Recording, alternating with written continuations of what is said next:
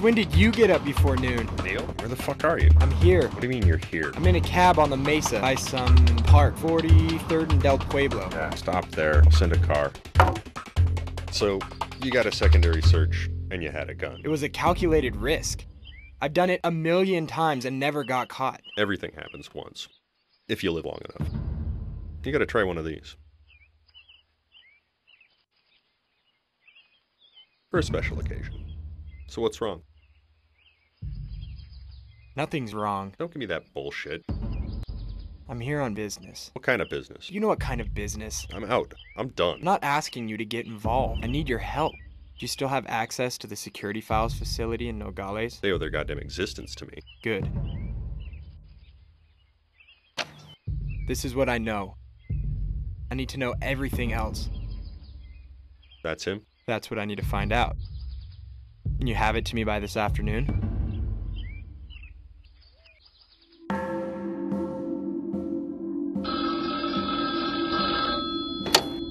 Thirty seconds. Go. Everything you had was phony.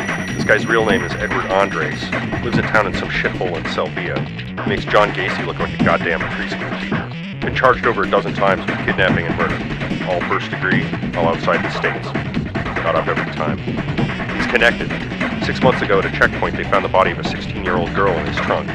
Never even made the news. The press is crooked as a barrel of snakes down. What do you think, Ray? It's him. Alright. Neil, don't go crazy, alright? Who is it? This is Officer Hunter. Your brother's been in a car wreck. What about my brother? Your brother Omar, he's been in a car wreck. He's now in the hospital. He listed his brother and Edward Andres as his next of kin, but apparently you don't have a phone. I think you have the wrong house. So I guess this is where we're gonna talk. What do you know? Nothing. Nothing? Nada. Nothing. You don't know anything. No! Alright.